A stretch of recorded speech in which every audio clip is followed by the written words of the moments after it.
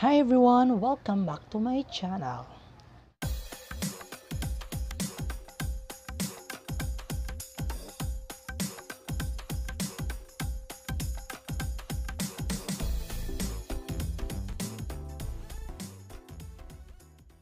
So sa video na ito, tuturuan ko po kayo kung paano nga ba ako nag-edit ng aking mga videos using my mobile phone. Di ba? Sa panahon ngayon, welcome to the digital world. So, kung dati-dati gamit camera, makakapag-vlog ka, ngayon, pwede na cellphone, makakapag-edit ka din ng iyong video using your cellphone. So, isahan naman po, isang gadget naman po, makakapag-video ka na at makakagawa ka na ng iyong YouTube channel. Nga, ang, uh, sa video na ito, ang ituturo ko po ay kung paano nga ba ako nag-edit using my mobile phone.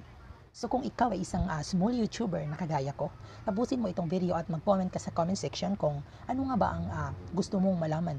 Kung ikaw ay baguhan pa lamang sa pag-YouTube, mag-comment ka at gagawa natin yan ng video. So magre-research ako para i-share ko sa inyo. So without further ado, tara, tuturuan ko na po kayo. Hi, so ayun na nga po. Ang una natin gagawin, punta lang po tayo sa Play Store. Tapos, search natin tong KineMaster. Ayan. So, since uh, na-install na natin tong KineMaster, uh, i-open lang natin siya. So ayan, kapag nakapag-download na kayo at nakapag-install na kayo ng KineMaster na apps, ito po ay no watermark. So wala na pong watermark ang KineMaster na app na ginagamit. So makikita nyo dito sa giliran, may mga video na po tayo na na-edit na. So ayun na nga, kapag maggagawa na tayo ng video, click mo lang itong nasa uh, bilog na may plus sign. Ito. Tapos makikita mo may uh, ratio dito, kung anong ratio ang iyong gagamitin.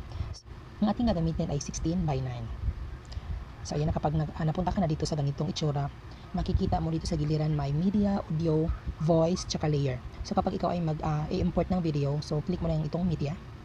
Tapos mamimili ka na ng iyong video na i-edit. So halimbawa itong video na ito. So, nakapili na tayo ng isa. Kapag magdurugtong pa tayo ng isang video, click, click mo na rin siya. Ayan, dalawang video na po. Kapag okay na, click mo lang tong check na nasa giliran. So, play lang natin. Sa ng music background. Makikita mo itong audio. Pindutin mo lang ito. Tapos mamimili ka na ng music na iyong gagamitin para sa iyong video para gagawin mo music background. So, ang pipiliin ko music background ay itong um, Keeping Secrets. So, kapag napindot mo na yung music, click mo lang itong plus sign para ma-import na siya sa video. So, ayun. Click mo lang itong check. So, ayun, may, uh, may background music na tayo. So, try natin.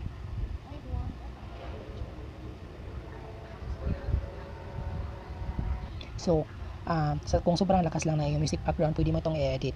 So, press mo lang tong music na inad mo sa video. Tapos, may makikita ka ditong speaker na uh, sign. Click mo lang to. Tapos, i-adjust mo na yung music mo. Para hindi naman matabunan yung video, yung main video na i-edit mo. So, ayan. Okay na siguro. 20, 20. Okay, 18. So, kapag okay na, click mo lang tong check na nasa giliran. Tapos, play mo ulit. So, ayan kung ayun nga po ang paglalagay ng music background. So kapag ikaw naman ay mag-edit at maglalagay ng um, subtitle, so pindutin mo lang tong layer. So dito, ay pipilian ka. Makakadagdag ka ng layering ng media, may effect, may overlay, mayroong text and handwriting. So halimbawa tayo ay maglalagay ng subtitle. So maglalagay tayo ng text. So YouTube YouTube channel. So ayan na. Nilagay lang natin siya dito sa giliran. So, kung gusto mo siyang i-extend kung hanggang sa ano, hanggang katapusan ng video, click mo lang tong may 4 dots sa giliran tapos i-drag mo siya pagilid hanggang sa dulo ng iyong video. Ayan na po. So, play lang natin siya. So, pagkatapos niyan, kung gusto niyo mag-add ng mga elements or effect, so click mo lang tong effect. Pwede, actually, pwede ka mag-download dito ng maraming effect, pero ako hindi pa ako nakapag-download. Hindi ko siya ginagamit. So, may mosaic, may ano to, Gaussian blur. So, pili ka lang dyan. Ayan, kung i-click mo siya, oh, para siyang nagmumosaic yung face natin. Pero, feel ko hindi ako maglalagay. So, delete lang natin siya. Hindi ako maglalagay ng, ayan po. So, kung gusto mo namang mag-add ng overlay, click mo na itong overlay. Tapos, may mga ano dito, may mga stickers. So, halimbawa ito. Ayan. So, ayan. Oh, may pawig na si Mayora.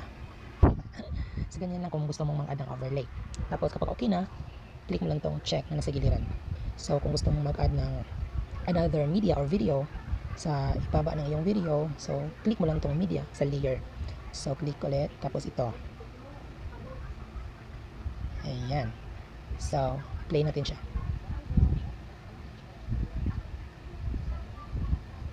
So, ayan na nga. Kung gusto mo namang maglagay ng ah, additional audio or voice sa iyong ginagawang video, click mo lang tong voice. Ayan, halimbawa.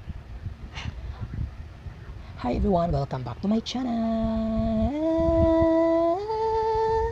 So, kapag tapos na, click mo lang stop. So, ayan, pakinggan natin kung okay na ba siya.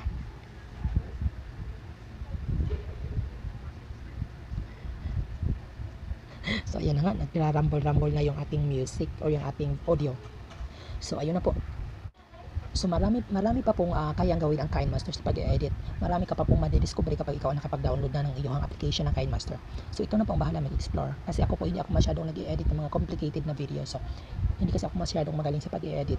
Napaka-basic lamang, po ng aking editing skills. So, hindi ko po kayo matuturuan ng mga complicated na paraan kung paano mag-edit. Pero yun nga po ito, na, I hope na makakatulong po ito sa inyo. Itong mga basic na editing skills na aking ah, itinuro. Kapag ikaw nakapag-download na ng iyong uh, KineMaster app, so hayaan mong mag-explore ang sarili mo. Gumawa ka ng video, mag-edit ka using KineMaster. So ayun na nga, using our mobile phone, makakapag-edit na po tayo ng mga video na ating uh, ipopost sa ating mga YouTube channel. So sa panahon ngayon, it's a gi- digital world, marami nang nagagawa ng cellphone. So kung wala kang laptop, gusto mo mag-vlog, gusto mo mag-share ng mga ideas, tutorials at iba pa, um, maaari kang makagawa ng mga videos mo using your mobile phone. So, uh, magawa ka ng video, mag-inspire ng other uh, small YouTuber at mag-upload sa YouTube. I-share mo yung mga nalalaman mo upang nang sa ganun ay makatulong ka sa ibang mga taong gustong malaman kung paano nga ba gawin ang mga bagay-bagay. So that's it for today's video. Kung nagustuhan mo ang video na ito, huwag kalimutan mag-subscribe at click mo na rin ang notification bell para lagi kang updated sa mga bagong video na aking i-upload. So mag-like at mag-comment ka sa comment box kung ano nga ba ang gusto mong malaman. Dahil isi-share ko po sa inyo kung ano ang mga nalalaman ko sa aking uh, pag-YouTube. So hindi naman po ako uh, masyadong expert sa pag-YouTube. Bago lang din po ako at maliit lang po ang channel ko pero hanggat sa makakaya ko, uh, gusto ko pong i-share sa inyo ang mga natutunan ko sa pag-YouTube. So yun lamang po at maraming salamat.